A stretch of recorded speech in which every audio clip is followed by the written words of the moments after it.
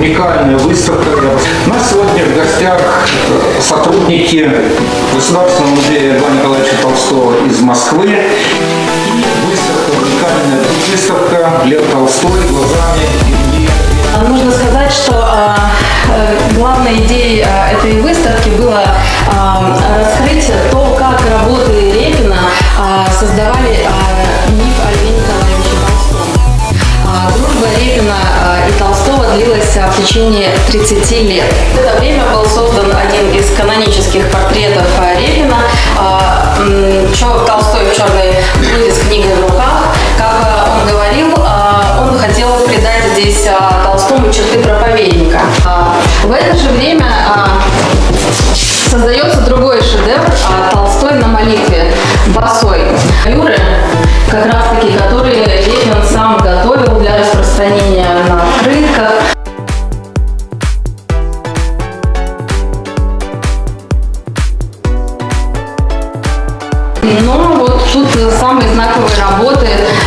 посвященные Толстому. Здея Ефимович а, рассказывает о том, что приобрел прекрасный дом с участком в Здравневе, а, в городе Витебск, который похож на Толедо. А, И а, что он весь в хозяйственных заботах с утра до ночи занимается благоустройством. Он купил им имение на берегах прекрасной, но злой и быстрой Двины.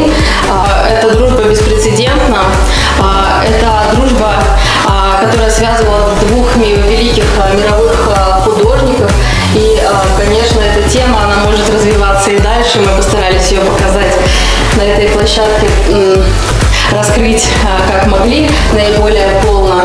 Тайного музея в Республике Беларусь, это музей Репина. А, Я хочу сказать, нам очень повезло, что э, сегодня Толстой и Репин встретились, только уже в Здравнево на этой выставке.